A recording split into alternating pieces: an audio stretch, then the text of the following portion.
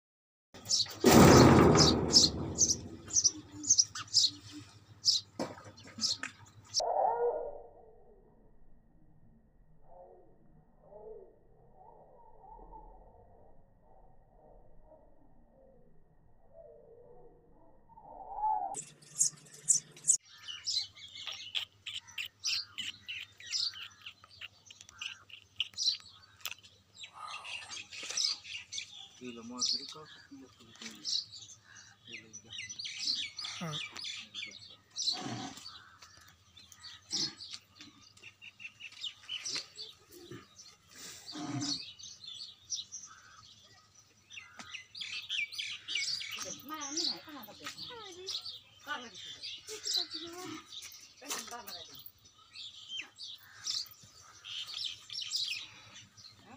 मैं घर पहुँच चुका हूँ। फ्रेंड्स, हमारे इधर इस समय बहुत गर्मी तेज़ है। तो फ्रेंड्स, फ्लावर पेंटिंग कैसा लगा?